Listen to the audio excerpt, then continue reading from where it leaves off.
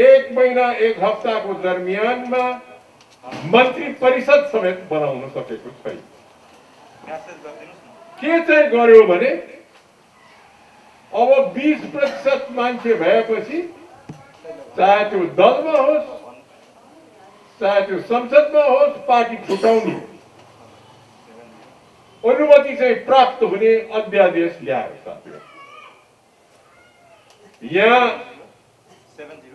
त्यही मान्छे जसले पहिला केपी ओलीले चालिस प्रतिशत भएदेखि सरकार पार्टी फोड्न पाइन्छ भन्दाखेरिमा त्यस्तो काम गर्नु हुँदैन अस्थिरता ल्याउँछ भनेर भनेको त्यही पार्टीले आफ्नो मतलब साध्नु परेपछि बिसै प्रतिशतले पनि पुटाए हुन्छ भन्ने अध्यादेश। यसरी साथीहरू दुवै ठुला पार्टी एउटा ठुला पार्टी त अब चकनाचुरै भयो अर्को ठुला पार्टीले मलाई लाग्छ तिन चार महिनाको दरमियानमा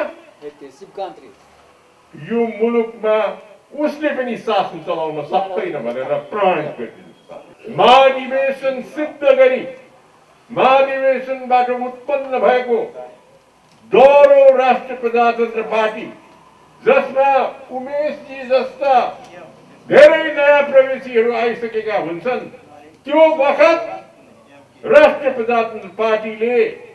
आफ्नो झन्डा फरफराएर हिन्दुत्व राज संस्था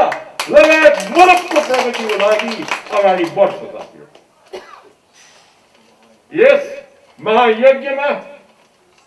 हाम्रा नयाँ प्रवेशी साथीहरू हाम्रा पुराना मित्रहरू हामी एक पङ्क्तिमा दृढ भई अगाडि बढ्छौँ र यो मुलुकलाई सुशासनको